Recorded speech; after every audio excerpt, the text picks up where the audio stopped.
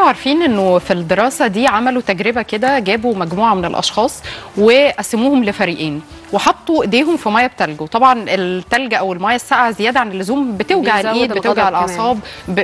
يعني بتألم والناس اللي عبرت عن ألمها بشتايم أو بسباب دول كان نسبة تحملهم للألم أكتر من الناس التانية اللي ما عبروش عن ده فالناس اللي طلعت غضبها في صورة شتايم أو سباب استحملت الوضع ده لمدة دقيقتين. أما الناس التانية فاستحملوا الوضع لمدة دقيقة و15 ثانية ودي حاجة غريبة آه جداً. يعني